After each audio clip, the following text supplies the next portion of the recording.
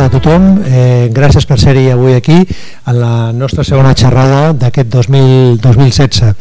Eh, la, si la setmana passada tractaven eh, un dels problemes que ens afecta que ens afecta a tots, que és el tema de, de, de l'aire que, que respirem i concretament, concretament tal, com es va, tal com es va dir el mateix dia, el mateix dilluns 11, La Vanguardia, en el seu apartat de tendències, eh, senzillament presentava eh, un informe del periodista Antonio Cerrillo en el qual pues, feia tota un anàlisi d'aquesta situació. I comentaven a la fi de la conferència del doctor Xavier Querol la importància de tot un seguit de tot tot un seguit de, de, de mesures per tal de millorar el que és la qualitat de l'aire.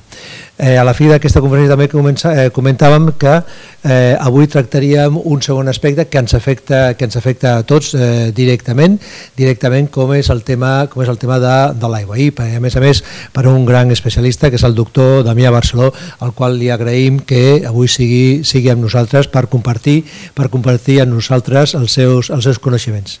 Si vostès poden veure el títol de la xerrada Destí, efectes i gestió dels contaminants emergents i els seus riscs en conques fluvials amb manca d'aigua, eh, resulta que nosaltres ens trobem amb una, diguem-li, amb una de les grans contradiccions de la nostra societat.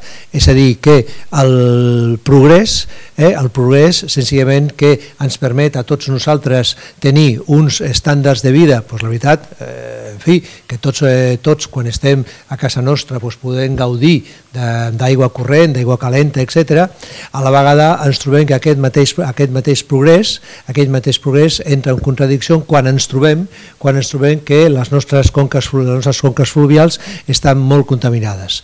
Eh, resulta que eh, quan va haver-hi la revolució industrial les conques fluvials estaven contaminades d'una manera, d'una manera perquè hi havia abocaments del que era la, del que era la indústria, etc.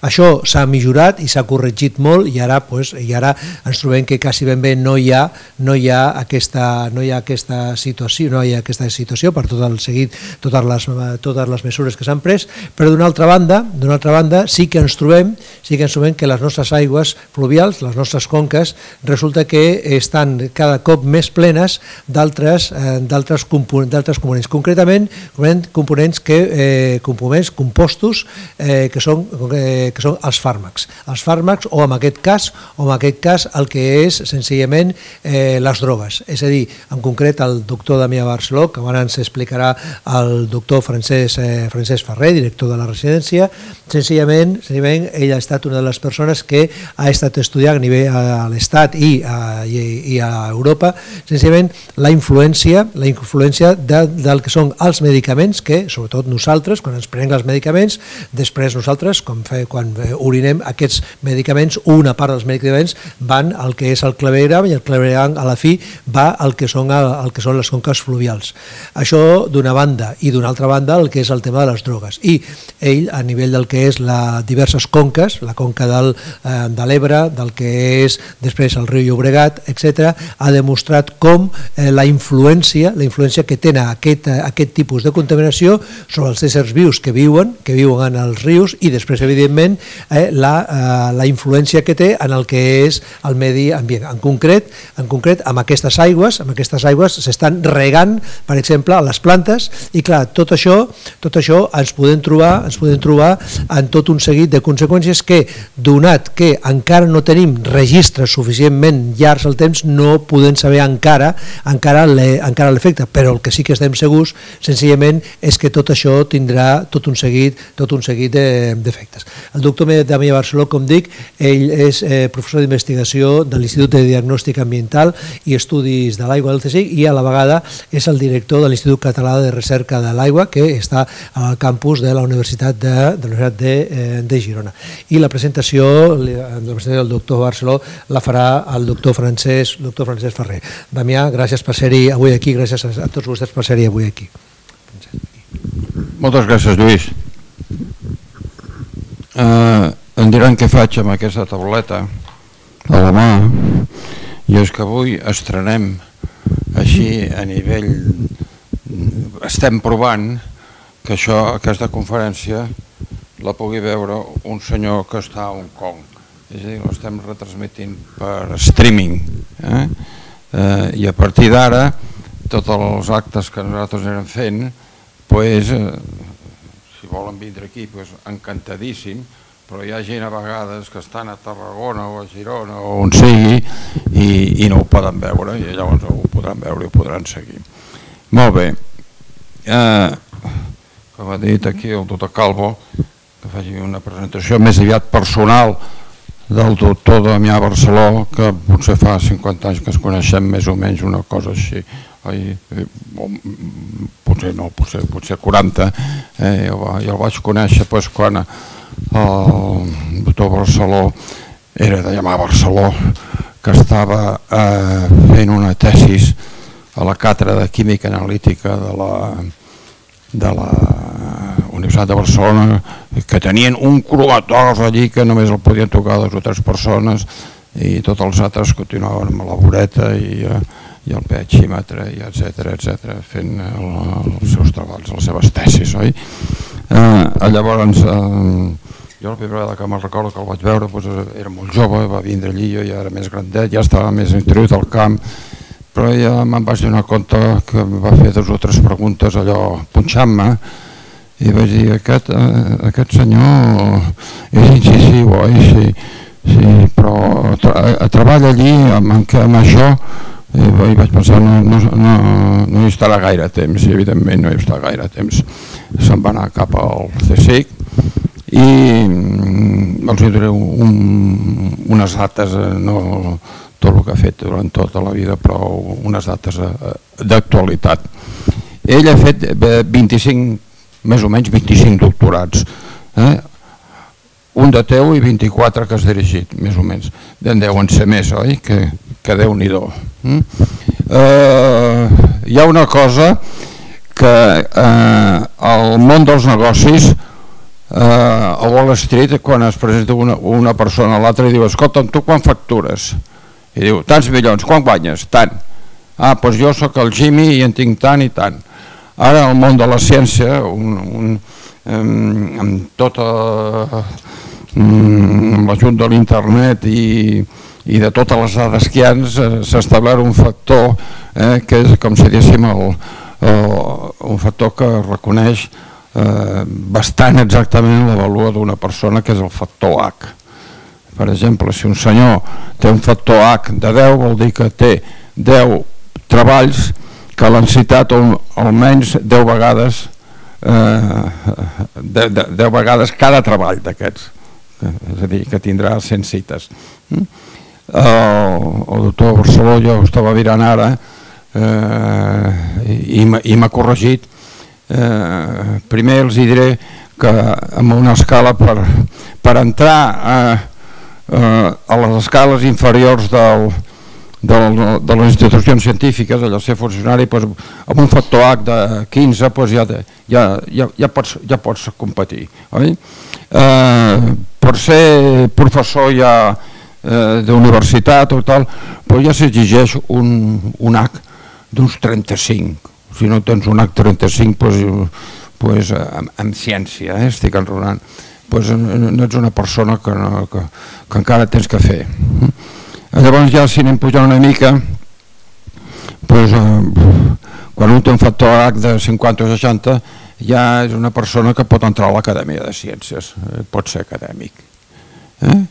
Eh, bueno, doncs, aquests són les votacions més o menys que es donen en el món de la ciència.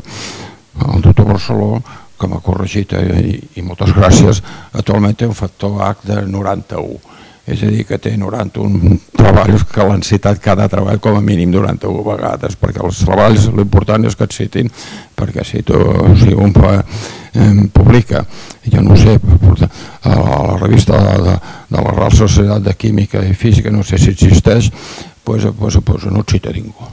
Eh? I llavors, perquè et citin, has de publicar amb les revistes importants que hi ha el món. I per publicar revistes importants del món has de passar una criba eh, important perquè et publiquin.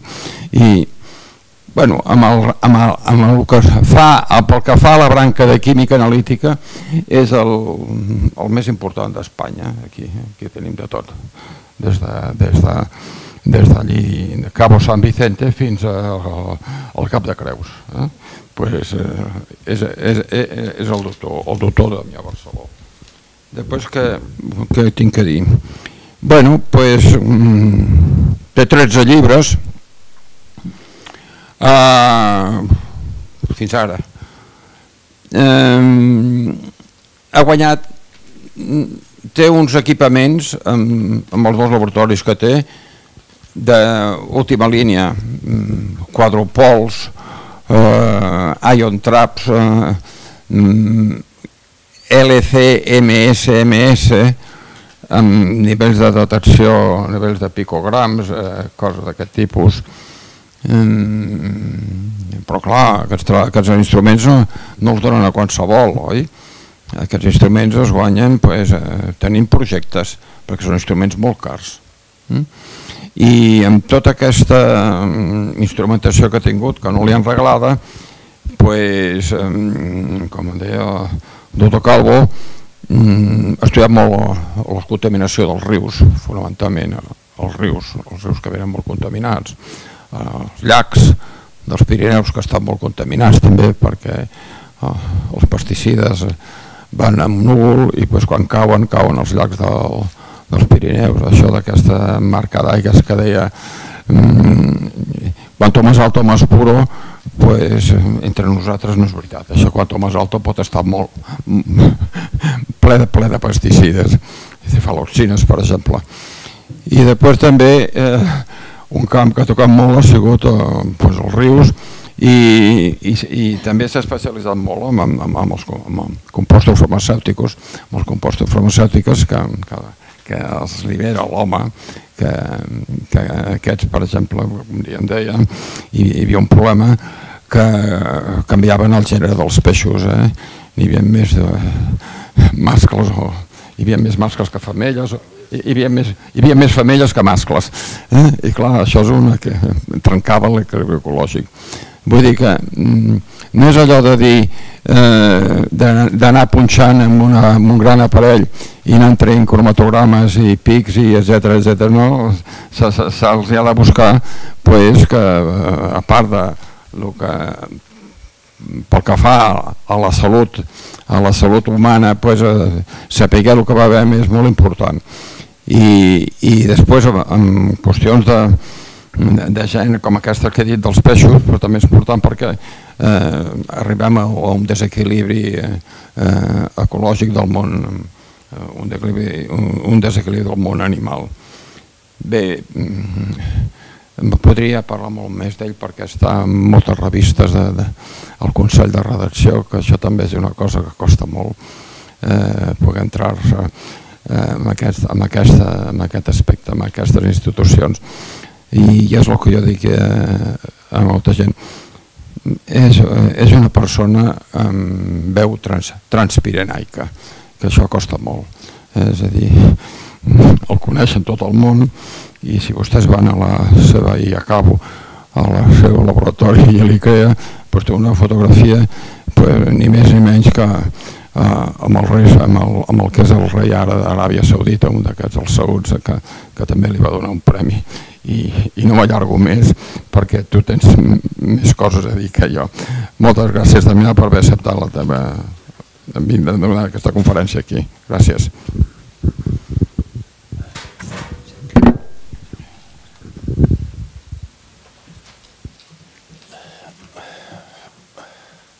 Bueno, gràcies a, um, al Francesc i al Lluís per la invitació perquè aquí són amics de fa temps i, i sempre és bo tenir amics. I només volia fer un incís amb de l'Indecac. És, a veure, és una sort que tinc un Indecac, etc etc. i això vol dir que he tingut una trajectòria pues, continuada he pogut tenir un equip, mantenir-lo, però no vol dir que més Indecac, més Premis Nobel, o que sigui. Hi ha Premis Nobel que tenen un NAC molt baix i, i o sigui, són coses diferents. L'Indecac el que marca és una certa continuïtat a la recerca i, i que has fet esforç de guanyar, com ha dit ell, els indicadors de Wall Street, diguem-ne, allí et premien en diners, doncs aquí en publicacions, diguem-ne, és un indicador d'aquests de continuïtat de recerca, però no necessàriament de geni, eh? Dir, ho dic perquè que quedi clar que és, vol dir que tu vas fent la teva feineta i, i te la van reconeixent més o menys.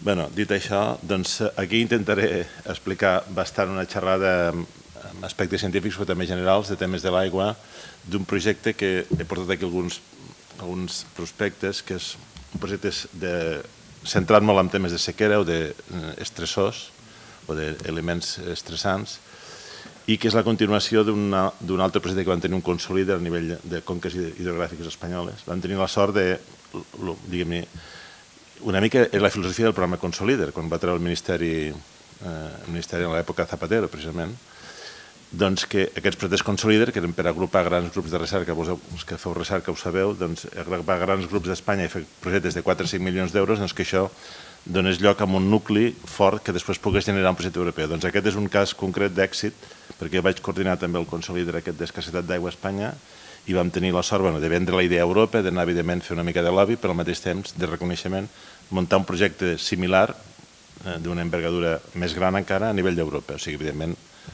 i això és una mica la... Per tant, és una recerca que aquí explicaré d'aquest projecte que es diu Globacqua, que portem dos anys i que coordinem des del CSIC i que és el projecte més gran que jo he tingut el, bé, sempre, perquè són set, entre gairebé 7-8 milions d'euros en total, eh? no, no pel CSIC, pel CSIC és un milió més o menys, en 5 anys. Però una mica eh, dona una idea de continuïtat, veure que hi ha resultats de conques hidrogràfiques espanyoles, el, com que el projecte europeu només fa dos anys que ha començat, comencem a tenir resultats ara, però anirà augmentant això, no? O sigui, bé, doncs una mica, com diu aquí, la idea és això, veure una mica quins són els efectes d'aquestes, eh, en condicions de manca d'aigua en un riu i no només dels contaminants, sinó d'altres efectes que puguin tenir el, el medi, els receptors. Els receptors del riu ens en centrem molt en els efectes amb el que serien el biofilm i els macroinvertebrats. No? I com tot això doncs, es, es gestiona. No? Bé, Aquí, coses bastant generals. L'aigua i la seguretat alimentària. Aquí, dintre de poc, s'hauran d'alimentar 9.000 milions de persones i, evidentment, el tema, cada any, estem, cada any el món augmenta aproximadament 80 milions, que és una mica una Alemanya o un Vietnam aproximadament, i això representa doncs, més, més alimentació, més, més aigua, i evidentment això és un problema que, pot, que, que, que ens portarà doncs, a, a prediccions bastant pessimistes dintre d'uns anys que mm, falta, encara hi haurà manca d'aigua si no es prenen mesures importants. No? I de fet el problema de l'escassetat d'aigua, l'escassetat de recursos és un problema que ja es comença a notar en, a, a bastants llocs. No? De fet, eh, Xina ara diuen que està decreixent una mica, però de fet el, el, el, factor Xina que abans menjaven arròs i ara mm, volen menjar carn, hamburgueses, doncs clar, per fer carn necessites molta més aigua. No? arròs són 800 litres per fer un quilo d'arròs, però si vols fer un quilo de carn, si tens mils de litres d'aigua, no? 3 o 4.000 litres. Per tant, estem, estem en condicions de que la situació va, va més complicada. Això són la sequera que parteix Califòrnia, sobretot, la part l'oest dels Estats Units, des de l'any 2013, i ja encara dura, i que això ha representat milions i milions de diners, tant per l'agricultura com per la consum, però sobretot l'agricultura. De fet, estan fent alguns disbarats que jo vaig veure l'any passat, quan hi vaig estar, que estan bombejant aigua de l'aqüífer per regar, cosa que, com, com es podeu imaginar, és bastant, diguem-ne, que no s'hauria de fer, no? però bé, no ho estan fent. Eh, I, per exemple, això, el, perdó, el tema de la sequera de Califòrnia doncs, ha representat doncs, actualment, doncs, clar, la Califòrnia està amb, amb les condicions que podeu veure en aquesta figura, està, eh, està experimentant una greu sequera encara avui i ha representat mil, milions de dòlars la, tota aquesta sequera, bueno, que veieu les condicions aquestes, jo vaig estar justament aquest any passat, els dies que havia, això va sortir el diari, eh, és a dir, plans, eh, tot el tema de la sequera, però haguéssim pogut aprendre una mica, això és una... El New York Times fa un article que dient que potser els americans haurien d'aprendre una mica dels israelites, no? Això és Israel. Israel pues, que agafa l'aigua del mar, la, la desalinitza o agafa aigua residual i la tracta, no? Llavors, clar, tens aigua, tens un desert però pots tenir aigua, no? Per tant, una mica s'ha de pensar una mica més que no només agafar aigua de l'aqüífer natural i, i bombejar-la per fer aigua, és a dir, mm, o fer trasbassaments, per dir-ho d'alguna altra manera. No? És a dir, hi ha d'altres maneres d'obtenir aigua eh, bona. Però aquestes situacions de sequera, de fet ara estem, el canvi climàtic porta també a situacions de, de sequera és una, però estem situacions, el que en diuen extrems, situacions extremes. Pot portar, tindríem, tindrem sequera, estem tenint sequera, però també tenim inundacions Això és el cas d'Anglaterra de, del desembre passat que estava Anglaterra, estava un cap de setmana a Londres i va sortir als diaris, bueno, això una broma, si voleu, aquí, rescatant la gent amb inundacions. És a dir, eh, estem parlant del mateix Ebre, si us hi fixeu, tenim zones de l'Ebre amb sequera i de tant en tant es produeixen inundacions. Eh, la fluctuació del clima ens haurem d'estar acostumant els propers anys degut al canvi climàtic a tot aquest tipus de situacions mm, difícils per gestionar els recursos aquífers. És a dir, tindrem situacions complicades que d'alguna manera o altra s'hauran de gestionar, però que d'alguna manera o altra, aquí a Catalunya, als rius mediterranis, ja sabem que és una, estem acostumats, després veureu una mica eh, els rius d'aquí. Aquest és un mapa que m'agrada bastant, que és el mapa del món, de, el mapa de la sequera, però el que en diuen eh, l'escassetat d'aigua.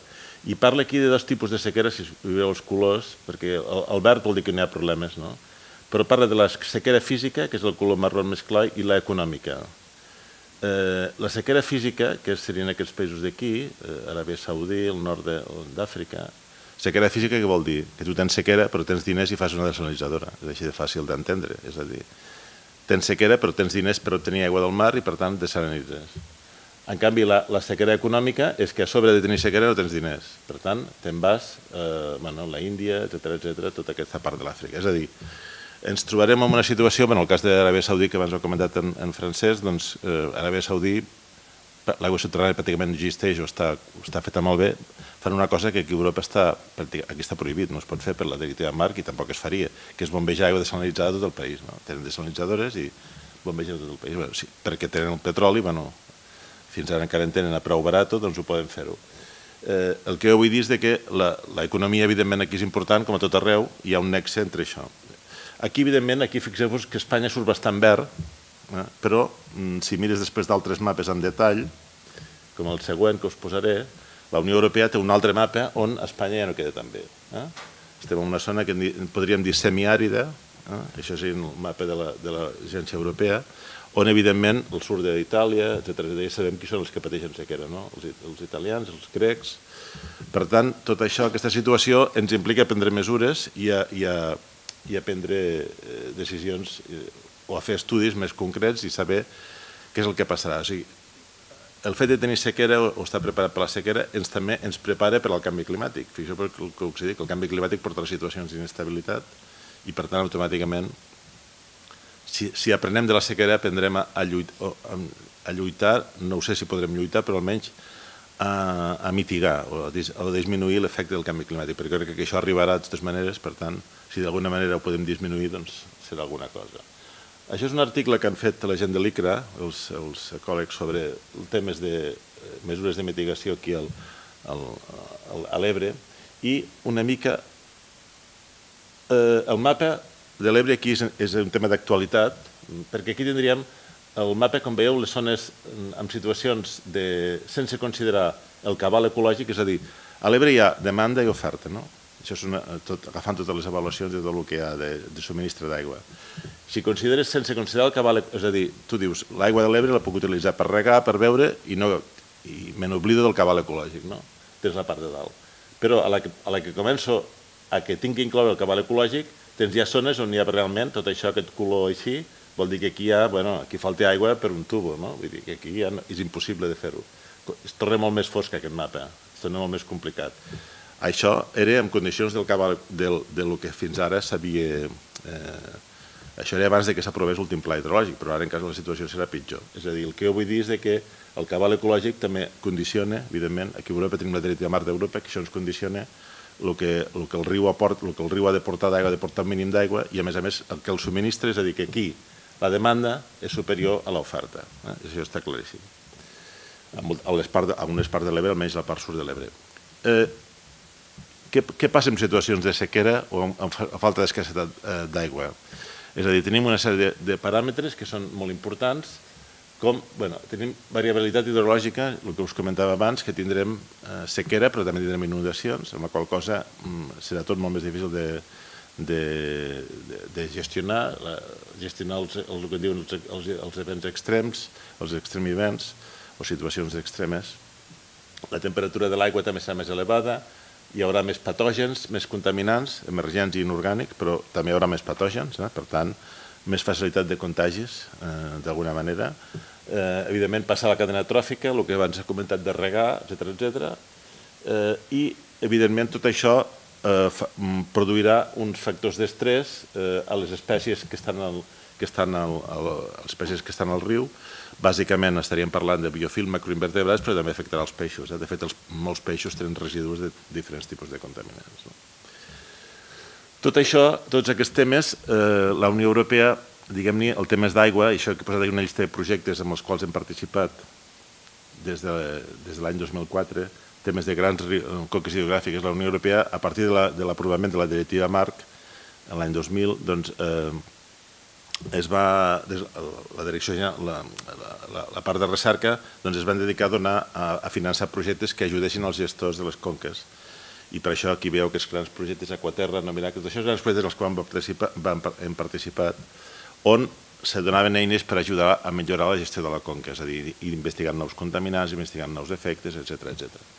I aquí, eh, avui, bàsicament, us parlaré d'aquest de les CARS, que és un, aquest va estar finançat pel Ministeri d'Economia i Competitivitat de, de, del Mineco, i que va ser l'origen d'aquest Globacqua. No? Però molts resultats que us ensenyaré són d'aquí. Aquí, bàsicament, vam tractar quatre conques hidrogràfiques, que són Ebre, Ebre Llobregat, Guadalquivir i Xúcar. No?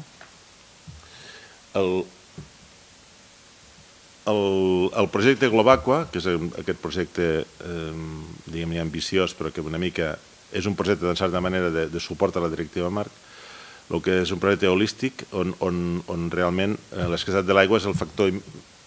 Aquí toquem diferents eh, elements estressants, però l'escassetat és el més important, on, on, on, hi ha, on s'inclou una sèrie de factors de qualitat d'aigua, biodiversitat, els efectes de la biodiversitat dels ecosistemes, parlem dels còctels de contaminants, eh, parlem de tot el que sigui l'impacte de diferents elements eh, que estressen no només els contaminants, sinó també, per exemple, espècies invasores. Eh? Això és un altre aspecte important, eh? ja ho sabeu que a l'Ebre doncs, caragol poma i d'altres espècies que poden afectar eh, i l'efecte dels múltiples, dels, múltiples estressos. Bàsicament centrem en l'ecosistema, no en l'efecte amb els humans, eh? Vull dir, això no ho toca aquest projecte, bàsicament toquem això. Eh, aquí eh, el tema principal és saber la salut de l'ecosistema i saber una mica com estem o com estarem en un futur. Eh, Eh, aquí estan implicats també les conques geogràfiques, veureu quines conques hi ha implicades, hi ha els gestors implicats també. És, una, és, una, és un projecte no només de ciències naturals, o si diguem, física, química, hidrologia, etc etc o biologia, ecologia, també hi ha l'economia, hi ha socioeconòmics de Grècia bastant potents, hi ha policy, de, que ho porten un grup anglès, de l'Imperial College, per tant, és un projecte bastant complet en el sentit de que...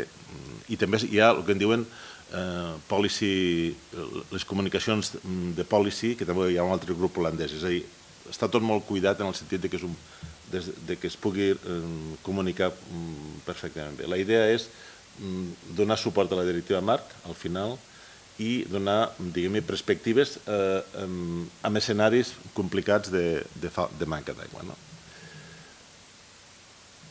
Aquí tenim una llista de, de països. Eh, Catalunya i Espanya estan molt ben representades. A Catalunya, de fet, hi ha tres grups. Hi ha el CSIC, l'ICRA i la Universitat de Barcelona i, i després hi ha la Universitat del País Basc. No? O sigui que, diguem el nucli important és el d'aquí, vam ser els que vam generar l'origen d'aquest projecte. Són 21 socis, hi ha, evidentment, al sud d'Europa, hi ha Itàlia i hi ha Grècia, no? tenim Anglaterra també. També tenim un grup de Marroc, que hi ha una, una conca del Marroc, encara que la conca del Marroc només es fan estudis, diguem-ne, sobre el paper. I i també en, en grups, de, Alemanya també, també està molt involucrada aquí amb tot el tema d'hidrologia. No? I aquí tenim una mica les conques que estudiem, que són, eh, aquí s'estudia l'Ebre, que és una conca típicament mediterrània, o l'Ebrotas, que també ho és, és a dir, són rius que pateixen sequetat. Després hi ha un riu, un riu bastant, que té bastant cabal, que és l'Alçava, que és un afluent del Danubi, és un riu molt capdalós, i l'Àdigi, que és un riu alpí. Eh, per tant, quan tu presentes un projecte europeu, sabeu que s'han de presentar el que en diuen diferents escenaris. No? Tu pots presentar l'escenari de manca d'aigua, però tu ho has de comparar amb altres escenaris. Per tant, una mica és això, és això el que s'ha fet aquí. No?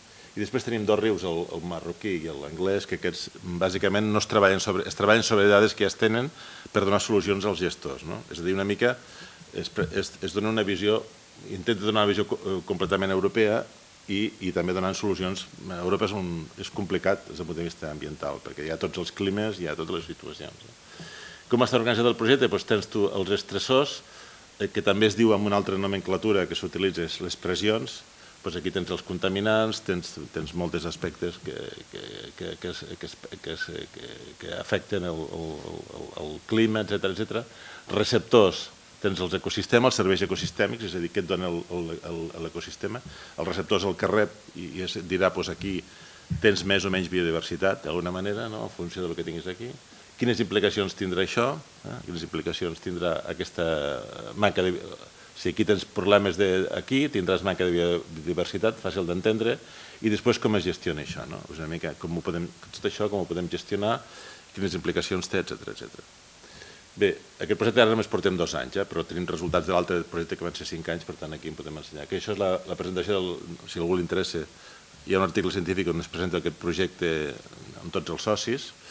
Una mica, eh, diguem-ne, tenim especialistes en clima, per exemple, això és una mica, s'han de trobar escenaris de, de, de clima, dades climàtiques de les diferents conques, tot, hi ha molta feina eh, que s'està fent o mig feta, perquè ara ja portem dos anys, i just la reunió la vam tenir la setmana passada, tens l'efecte del clima, com això afecta els canvis hidrològics, per exemple, i com això, per exemple, pot afectar la dinàmica dels sediments. No? Realment que els sediments és molt important en les conques, i això després, què passa amb, el, els usos del sol i amb els contaminants? No? Què pot passar? La turbidesa, etc etc. com això pot afectar? Per exemple, i ara us posaré després veure un exemple d'un estudi que hem fet aquí, que quan hi ha un episodi d'aquests d'augment de, de, de, de cabal, o diguem d'inundació, d'inundació ni que sigui simulada, sabeu, ja ho sabeu, potser segurament ho heu llegit, que a la conca de l'Ebre, per exemple, doncs, doncs cada any obren les comportes per netejar entre els, entre, per netejar els, els, els embassaments i per, per, per donar una mica més de sediment al riu, ho, obre, ho obre, obren almenys una vegada o dues. I eh, nosaltres vam fer un experiment que després veureu què passa en aquestes situacions, que diguem-ne simuli una inundació, no? situació controlada, no? diguem-ne. Això és una mica el que s'ha de fer relacionar, que això són models, hi ha modelització, etc etc. Vull dir, al Mediterrani què tenim? Doncs tenim això, això és el Llobregat. Fixeu, és del 2004 ara, fixeu, això és el cabal, mireu com varia, o sigui, des de 2 o 3 fins a 50 metres cúbics per segon. És a dir, a veure, gestionar un riu així no és com gestionar el Danubi, eh? ja us podeu imaginar. Eh? Per això, doncs, doncs aquí a Barcelona, doncs, aquí a la Coca del Llobregat doncs, s'ha doncs, molt a fer el que és recàrrega artificial, etc etc per guardar l'aigua quan n'hi porta més, per carregar l'aqüífer, és a dir, és un riu complicat, complicat de gestionar, perquè clar, quan tens aquestes variacions amb el cabal del riu, si a sobre aquest riu l'utilitzes per aigua de beguda o per, les, per les, el que tu vulguis, doncs, doncs això ho complica bastant. No? Llavors, una mica, el que tenim, eh, per exemple, eh, aquest projecte Globacqua, el que s'ha d'estudiar és precisament tot el tema relacionat amb la mobilització de sediments, com afecta el cabal del riu, aquí tampoc vull entrar massa en detalls tècnics, però bueno, tenim mostreig d'inundacions sobtades, establiments de relacions de, de, factors d'estrès, és a dir, la, la morfologia del riu també influencia, és un factor estressant del riu, eh? és dir, com es comporta aquest riu. Els rius mediterranis tenen un comportament diferent dels altres rius.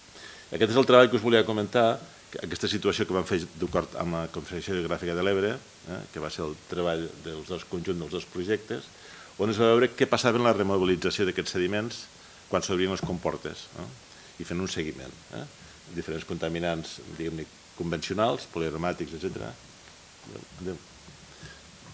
Eh, eh, doncs aquí, per exemple, eh, el que vàrem fer és veure eh, què passava amb aquests sediments se, la, evidentment vam fer tot un seguiment quan es van obrir aquestes, aquestes les comportes, crescuda sobtada a la part baixa del riu, 5 quilòmetres a, baix de, les aigües avall de Flix, sabeu que Flix és una zona contaminada, que, que està bastant, o ha estat bastant sempre contaminada, ara, encara que ara hi ha hagut un pla de descontaminació, de contaminants persistents, i van fer tot un seguiment d'aquests compostos. Què és el que passava? Doncs aquí tenim els perfils de contaminants, alguns, com els PCBs i els clorats, doncs tenen una pujada al cap d'unes hores i després baixen, és a dir, no hi ha cap problema, i d'altres, els poliaromàtics, doncs tens un, que tenen un altre origen, tens un augment constant. Això què vol dir? Eh, resumint, vol dir que quan hi ha un, un que tampoc potser cal ser gran especialista per adivinar-ho, quan hi ha una, una, una inundació o una, un augment fort de cabal, tens una resuspensió de sediments i automàticament el riu, els nivells de contaminants al riu augmenten, de manera que, per exemple, amb aquestes condicions ja no compleixen la directiva marc. Eh? Per tant, durant dos o tres dies, eh, millor no tocar res, eh? no agafar aigua ni fer res de res. De fet, també es dona, i això s'ha explicat en altres casos de, de, on, hi ha, on hi ha tema de, de depuració d'aigües o, de, o, de, o de vertits d'aigües residuals, també pot passar el mateix amb patògens, no? que tens durant dos o tres dies doncs, vigilar perquè pot haver-hi diferents tipus de patògens que, que, que en tens amb, amb molta més quantitat de la normal. No? Però bueno, això és un cas concret de que durant quan passa això, doncs, durant uns dies no es, hi ha un incompliment de la directiva marc. Per causes naturals, eh, diguem-ne, les, les que siguin. No? Bé, això són els, els formatges aquests són els diferents contaminants que es van mesurar amb aquests quatre rius, que són el Ebre, Guadalquivir, eh, Júcar i Llobregat, i els colors vols dir diferents famílies, eh, des de pesticides, disruptors endocrins, perfluorats, que és el teflon, els derivats del teflon, i compostos farmacèutics. No? Una mica es van mesurar molts compostos i amb tot això s'intenta pues, correlacionar i veure quin tipus d'efectes hi ha en diferents, en diferents famílies. Aquí us posaré alguns exemples només de coses, de, de temes. S'han fet molts peixos, no? s'ha mirat com afecta els peixos, quins residus hi ha, aquestes diferents espècies que hi ha als rius, eh, les, la truita, el, el cipri, el, la, la carpa, que és molt comú, eh, ciprions carpio, etc etc. No? Aquí hi ha diferents espècies d'aquests rius. I aquí, perquè vegeu una mica, doncs, bueno, aquí una sèrie de famílies que serien els més persistents, els contaminants, els retardants de flama emergents a l'Ebre, els nivells que hi han, els pesticides, els perfluorats, els fàrmacs... Una mica, què demostra això? Pues que bé, si hi ha problemes al riu degut a usos agrícoles, de, en el cas de pesticides, o depuradores que no, no acaben de depurar completament, perquè tampoc estan dissenyades, però vull dir, no, no, hi ha residus al riu i per tant hi ha una part que va al riu, o compostos perfluorats que també són, poden ser d'origen industrial però també són d'origen urbà, doncs el que tens és que clar, això va per al peix, els peixos estan allí contínuament, com que són vertits continus, doncs el peix els acaba bioacumulant. Clar, aquest peix, la majoria, molts d'ells no se'ls menja ningú, doncs no passa res, però bueno, els peixos sí que els hi afecta, hi ha estudis que demostren que aquests contaminants doncs, estan afectant d'alguna manera eh, moviments del peix, a la llarga, el que he comentat abans en Lluís, que bueno, això va ser ja fa molts anys, fa l'any 2000, va ser dels primers estudis, que quan tens un hi havia, era la zona d'Igualada, on en aquell moment ara ja no hi són, per raons, per raons diguem-ne, conegudes, hi havia molta indústria del curtit que no, que no depurava bé les aigües, ara en aquest moment, el que he dit moltes vegades, molta d'aquesta indústria va tancar perquè o se'n, van a Xina eh, i la que s'ha quedat ha hagut de, fer, ha de depurar. No? Però abans de l'any 2000 doncs, eh, no era el cas i, i llavors hi havia molta, molts derivats diguem-ne relacionats amb la indústria. No? I sí que es van trobar casos, en un cas de, de, de vertits importants que es produïa el que es deia canvi de sexe o, diguem-ne, feminització. Més que canvi de sexe, el que passava és que, és que els mascles agafaven caràcters femenins, no és que es convertissin en femelles, sinó que no es podien reproduir tampoc. És a dir, quan tu tens una feminització dels peixos, eh, és una mig femella, però no, no és una femella ben bé. Per tant, si això passés a gran escala, es podria arribar a, a, a perdre algunes espècies. No? Diguem-ne, algunes espècies podrien desaparèixer. I aquí tenim doncs, diferents eh, compostos. Aquesta següent, no sé què ha passat que no surt. Ah, no, sí que surt. Així que són les conclusions, perdó, les conclusions una mica d'aquesta primera part, on veieu els diferents contaminants emergents que us he comentat aquí. Hi ha una relació, tampoc vull entretenir-me, que són temes molt tècnics, que s'acumulen més uns que uns altres. Eh, és una feina complexa, de tot el tema aquest dels contaminants, i una mica hem, hem d'entendre una mica què és el que passa amb aquests diferents hàbitats aquàtics d'aquests contaminants que tenim aquí al riu. Això pel que fa a la part química, la part més química, i d'aquests estudis. I ara anem a la següent. Vale. I ara aquí continuem amb aquest mateix projecte una mica aquí es mesuren conjuntament la part química i la part biològica, que això també és una cosa bastant... i és de fer el projecte d'Escars i també es fa aquest projecte Globacua, cosa que normalment no es fa quan es fan estudis, és a dir, quan tu fas, la, eh, quan tu fas els estudis químics, doncs mesures, eh, els ecòlegs també hi van i agafen, doncs, fan tots els paràmetres de, de, de, de clorofiles, etc etc, tot, el, tot el que són els estudis de, de macroinvertebrats, etc etc, de biofilm, i, i tot es fa al mateix moment, o sigui, es planifica i això és una mica eh, per saber si realment hi ha una relació entre els, els factors d'estrès i els efectes a l'ecosistema. Aquí, perquè veieu una mica aquests mostrejos, això són de l'any passat, doncs de, aquest és el riu Ebrotas, que és un riu que també és, és intermitent, aquest és un riu que té molts problemes de sequera, és un riu on bàsicament la, la, la, la, el tema important són els pesticides i alguna, i alguna depuradora que hi ha de tema de fàrmacs, però bàsicament hi ha molt pesticida, hi ha olivera, etc etc. i com us podeu imaginar doncs és un riu que té molts problemes d'aigua.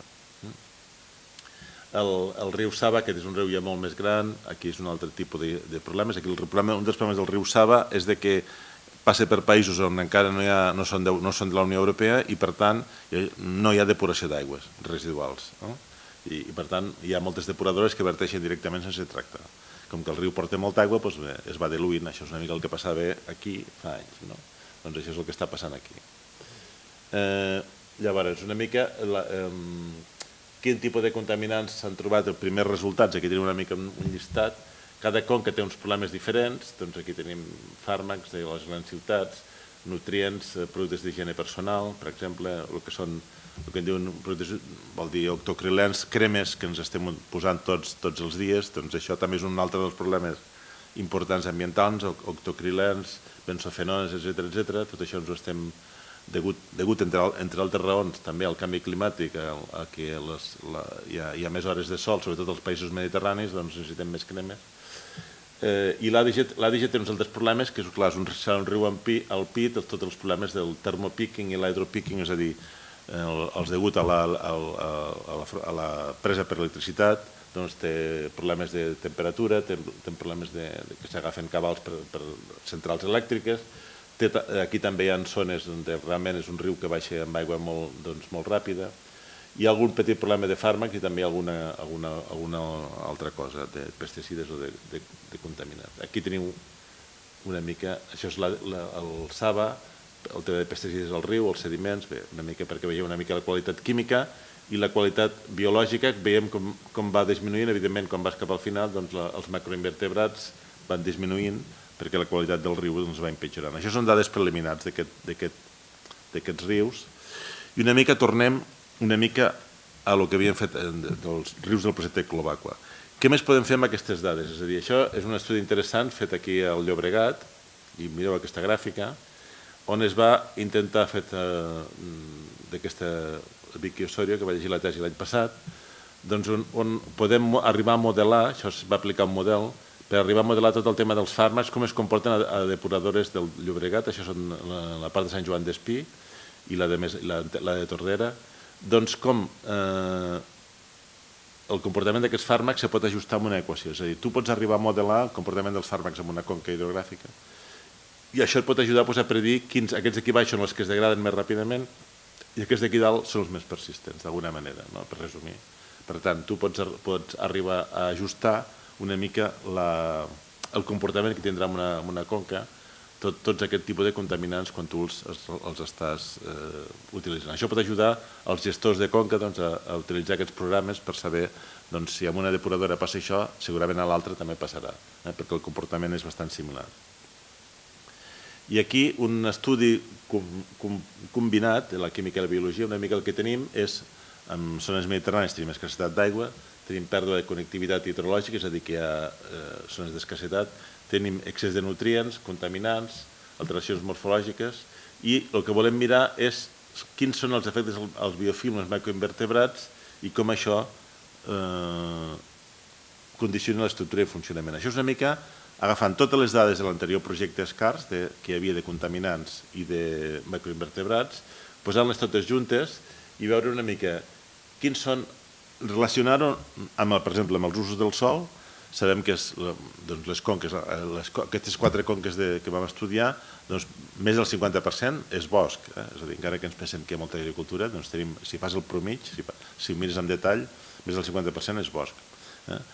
I veure aquests usos del sol, veure factors ambientals, patrons de temperatura, nutrients, etc etc i els contaminants. Tot això podem treure alguna conclusió i el que es van fer va ser agafant aquests quatre rius, les dades de, durant, del 2010 i 2011, posar-les totes juntes i veure una mica com podíem fer per components principals, com podíem això, quina conclusió podíem treure. Veureu que les conclusions són bastant interessants. Bueno, aquí, potser els que esteu familiaritzats amb, amb, amb components principals ho sabeu més, però si, els altres ja ho explicaré. Aquí una mica el que tens, la part d'aquí i la part d'aquí es van en contra, és a dir, aquí tens la biodiversitat dels macroinvertebrats que va disminuint i aquí tens, evidentment, quan tens més herbicides i, me, i més pesticides, tens més conductivitat. És a dir, això és la part contaminada i això són els efectes que té, evidentment, contraris al, té uns efectes negatius als macroinvertebrats, per posar un exemple. No? És a dir, llavors el que tens és, és lògic, no? una zona que tens més contaminada, o sigui, quan tens més contaminació tens menys biodiversitat. I això el que vàrem fer llavors és posar-ho tot, amb un, amb fer una sèrie de comparacions. Tenim, d'una banda, tenim, vam agafar les variables fisicoquímiques perquè les teníem de totes les conques, això són moltes dades, més de 200 contaminants, 20 eh, punts a cada conca, usos del sol, eh, agrícoles i eh, artificials, i després tipus de contaminants. No? Llavors aquí vam posar en un, en un formatge els fisicoquímics, els contaminants i els usos del sol. Llavors vam començar a comparar. Si comparem els usos del sol, podem explicar, quan podem explicar de la variància, d'aquesta variància que tenim aquí? Podem explicar un 8%. Només amb contaminant sol, un 1%. Això què vol dir? Això va contra una mica el que la feina que estem fent nosaltres de contaminants. Vol dir que els contaminants sol no és, per si no expliquen aquesta variància, o sigui, no expliquen els efectes als macroinvertebrats o al biofilm. I fisicoquímics, doncs un 16%. Llavors, si comencem a barrejar-los entre ells, veiem que tot això va augmentant fins que arribem al 45%. Això, d'alguna manera, què vol dir? Una mica vol dir que 1 més 1 no són 2, sinó que pot ser 3 o 4. És a dir, quan tu tens mm, diferents efectes, els usos del sol, els contaminants, els, els nutrients, etc etc, eh, la temperatura, tot això te multiplica els efectes i et pot arribar a explicar el 45,6% de la variància de totes les dades que teníem que, dels efectes que teníem amb els macroinvertebrats i amb el biofilm. Això és un primer treball d'aquestes dades que se n'han de fer més. Eh? Però una mica el que indica és que el, els efectes de multiestrès són una mica diferent al que fins ara s'havia fet perquè has de considerar tots els paràmetres, no? no només un sol, és a dir, els efectes d'un sol component, això està molt bé al laboratori, però quan tu vas al camp tens una multi, un, un múltiples efectes. Per tant, en condicions de cabal inferior, aquests efectes es multipliquen d'alguna manera. No? Aquí una mica el que tenim és que, eh, bueno, tenim una mica el model que us he comentat abans de modelització, la diversitat decreixent dels invertebrats i una comunitat de, de, de, més tolerants coincideixen amb l'augment del, del deteriorament. El que tenim, el que us he comentat aquí, que 1 més 1 pot ser 3 o 4, perquè tenim tota una sèrie de factors, això diria que és la conclusió més rellevant de, que, de, que, de, tot, de totes les dades del projecte SCARS, que mm, no només són els contaminants són importants, sinó que tens nutrients, el, flux de l'aigua, els usos del sol, etc. Tot això afecta i, i evidentment, quan ho tens tot junt, doncs tens uns efectes multiplicadors. D'alguna manera tens un efecte multiplicador que és el que t'està movent. Llavors, una mica aquí, la idea és de que, i no només ho dic jo, d'altra gent, més ecòlegs, perquè sóc químic d'origen, eh, cada vegada en, es, es va el que diuen una petjada ecològica, un, una footprint, el que en anglès es diu el footprint, ecological footprints, amb múltiples, múltiples factors, múltiples mm, elements estressants, que ens han d'arribar a explicar doncs, el que està passant en una conca. No ens pot explicar amb un sol element, sinó que s'ha d'explicar amb totes les característiques d'aquesta conca. Ja us dic, des de temperatura fins a conductivitat, etc. Índexs integrats, necessitem més aviat índexs integrats i, i, i relació entre els factors d'estrès i els receptors. No? És a dir, amb un receptor que és un microinverterat, un biofilm o un peix, el que li està passant depèn de, moltes, de molts factors, no només d'un sol factor. No? Ens estem movent amb aquestes condicions de, de dir, bé, doncs tot això ho hem de tenir en compte i a veure com ho posem això, com ho podem explicar i què és el que fem en el futur. Una mica, això és la, la línia de treball d'aquests projectes. Llavors, una mica, eh, aquí, això ja no és part de la Globaco, però és una mica la part final, quan, acabo, quan faig aquesta xerrada, sempre acabo amb aquesta part més ja de contaminants, tornant al tema de contaminants. Com podem millorar tot això? Evidentment, amb el tema de contaminants és conegut, que tu el que pots fer és tractar més l'aigua, reutilització, utilitzar, ha, avui en dia hi ha tecnologies que permeten eliminar els contaminants i pots obtenir aigua de gran qualitat, evidentment te costarà més cara, carboactiu, eh, nanofiltració, osmosia inversa, etc etc. És a dir, això no és cap secret, eh? això existeix i aquí hi ha un exemple, de, precisament fet amb l'ICRA, a la part de Torroella de Montgrí, on es va veure que, per exemple, aquesta edat de Torroella de Montgrí es va instal·lar una, una de membranes d'osmosia inversa i es va veure com s'eliminava perfectament bé els fàrmacs i pesticides. Clar, tot això es pot fer, però és més car. Eh? Vull dir, eh, estem en una època de crisi, ja ho sabem de fa uns quants anys, i, i això no es fa a nivell massiu es fan petits estudis, però eh, això és una mica el, el, el nivell de contaminants que tu pots arribar a eliminar, eh, tractaments convencionals o, o amb, amb, amb filtres o amb, amb osmosi inversa. No? Això està, publicat els diferents tipus de contaminants que pots arribar a eliminar. És a dir, tot això es pot resoldre d'una manera satisfactòria, però fa falta incloure més tecnologia, que també ens costarà més diners d'operar, però mm, quan parlem d'aquest tema de contaminants, hi ha un tema que no toquem a les cars, no toquem al global quan hi ha les cars, i que també és important, i que ha sortit dels últims dos o tres anys, és el tema de la resistència a antibiòtics. És a dir, les depuradores deixen anar antibiòtics, venen als hospitals, dels hospitals que s'estan utilitzant molts antibiòtics i també d'ús agrícola, però tot això va per a l'aigua i aquí, per exemple, vam estar mesurant resistència a antibiòtics a diferents llocs d'aquí a Catalunya i aquí veureu una mica el que està passant. Això són gràfiques, més o menys que es poden de diferents parts. De... Això és la part de Girona, i aquí teniu la sortida de l'hospital, la resistència antibiòtics, i aquí al final teniu el riu. Veieu que no, mai la resistència antibiòtica és zero. Eh? L'hospital, l'entrada de la depuradora, la sortida, però sempre n'hi ha. Això què vol dir? Que a part de la química tenim un problema greu amb microbiologia. Eh? I això n'hi ha més. Eh? I això n'hi ha més. Eh? El que vull dir és que mm, el consum d'antibiòtics està disparat i bé, és un tema que d'alguna manera mm, aquí eh, ja no parlem dels d'ús agrícola, eh? que també és una altra història. bueno, és una altra història similar, perquè alguns temes són comuns. Per tant, tot això és un tema important. La Unió Europea també està finançant bastants projectes en aquesta línia.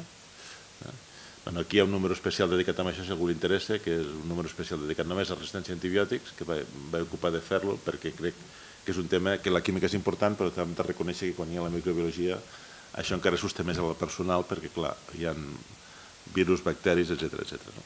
I ara aquí estic acabant. Eh? Una mica, què és, què és el futur? Que això pot ser suggeriments per a la recerca de futur. No? Eh, ens fa falta encara residus, molta més informació sobre residus de fàrmacs en concret i d'altres productes, amb, eh, amb els sediments, eh, biologia, relació amb l'estat ecològic, hidrogeològic i la biodiversitat. Això d'aquí, encara que hi ha dades que ho apunten, per exemple, hi ha, però hi ha molts estudis encara de laboratori. Per exemple, un experiment que es van fer els suecs fa dos anys que es va publicar a Science, on posen peixos en una peixera, em sembla que era, no me'n recordo quin és, i la Medaca, un d'aquests, eh, i el que passa és que amb una dosi determinada de fàrmac es tornen antisocials. Bé, ho van fer amb una peixera, però tu tot això, o sigui, es barallaven entre ells, no? Eh, tot això a, a nivell de camp és molt més complicat, no? També estem treballant amb una eina bastant important que és utilitzar tècniques químiques avançades, com és el Malditov, per caracteritzar el metabolisme del riu. O sigui, fins ara els ecòlegs, com que estem treballant molt amb ecòlegs, des de fa uns quants anys estem treballant bastant, ells feien servir uns bastonets per veure el metabolisme del riu, tu poses un bastonet com la, el que et dona el dentista per posar a la boca, doncs allò que ho posaven i ven com es anava degradant la, la matèria orgànica. No? Això ho pots caracteritzar des del punt de vista químic quan diuen no, si això, això és química també no. Llavors, una mica, amb les tècniques d'imaging o d'imatge, pots arribar a... Això ja estem treballant, hem posat una tesi en aquest tema, amb el Toni Ginebreda. Llavors aquí tenim opcions de tractament i tens moltes, avançades, tractaments, per exemple, eh, ara fa poc ha sortit un treball d'uns italians del Sequencing Batch Filter Granular Reactor que elimina no només els contaminants químics, sinó la microbiologia cada vegada hem de pensar més que no només la química és important, sinó la microbiologia. Concepte important que va treure un company meu americà, bueno, que ens coneixem de fa temps, que va dir concepte de prescripció de dosi baixes, implicacions de la prescripció de la indústria farmacèutica, és a dir, s'ha d'optimitzar la dosi, no hem de prendre tants medicaments, no hem de prendre 400 o 600 mil·lígrams d'ibuprofè quan n'hi podem prendre 200. Eh? Això començant per nosaltres. Per tant, hi ha una implicació nostra diària aquí i intentar treballar amb, principi de precaució. Eh? Hi ha nous contaminants que també estem treballant, els micro i ara els nanoplàstics també i nanomaterials. Tot això és un tema que també estem treballant, que tinc algun altre exemple però que ja no val, són més aviat de laboratori, però aquí és un tema molt important, s'ha vist ja que els microplàstics també produeixen disrupció endocrinal dels peixos, i tot el tema d'eòmica, que també estem fent, aplicada al medi ambient, als bivalves, això també és un altre tema, veure com l'òmica ajuda, amb l'òmica, o sigui, amb els amb els àcids grassos, amb, el, amb les característiques típiques del, per exemple, dels bivalves, dels músculs, pots eh, reconèixer si estan afectats o no per determinats contaminants. No? I aquí, per acabar, posa una figura que és la del diclofenac, per exemple, que és una mica més informació, això van fer un treball sobre només aquest diclofenac, és el voltaren. Eh? una mica el diclofenac és un producte important perquè la directiva marca el té a la llista que en diuen watch list o llista d'observació. Segurament d'aquí 4 o 5 anys s'haurà de controlar, eh? però en aquest moment no hi ha tantes dades, però hi ha dades, però bueno, si sabem aquest, el, el, aquest producte es va fer molt famós perquè va afectar fa uns anys els voltors de la Índia i Pakistan i van morir. Aquest producte es donava als bestiar, al bestiar a la Índia i Pakistan es dona com d'ús veterinari, llavors els voltors clar anaven a menjar aquest bestiar mort i es morien. Eh? Es morien degut al diclofenac, eh? el voltaren. Eh, en persones humanes no ha passat, eh? tots han pres una mica, algun dia o altre han pres d'això, però i també els, els esportistes és el típic que també es posen quan es donen un cop, Eh, però bueno, el que vull dir és que cada vegada més aquest producte està a la llista negra, hi ha, hi ha dades, bueno, hi ha, aquí són nivells a nivell mundial, tot això ens fa falta dades a nivell global d'aquests productes i saber quins són els efectes. I una mica amb això, jo ja, ja volia acabar perquè si no em faré massa pesat, després la resta és més temes, una mica el que us he comentat abans de dir pues, algun exemple més. No? Però, bueno, puc acabar amb aquesta altra, que és el del mal d'itof, això és una cosa molt nova que estem fent, que és aplicar tècniques de malditof, això és, agafes aquest bastonets que posen els, els ecòlegs del riu eh, sense degradar i, amb, i quan està degradat, no? Una mica, i com interpretes tu les masses, etc etc. No? Això és utilitzar, això sí que realment és, és treballar les interfaces de, de, de ciències de, de l'ecologia i com que els químics que ens han posat en fent temes d'ecologia veiem els, com això es pot millorar, doncs això és intent...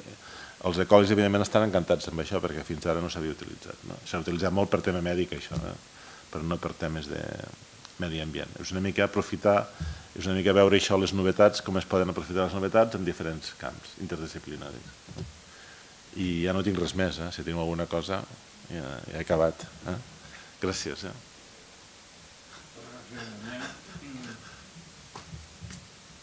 Molta feina. Molta gent implicada també.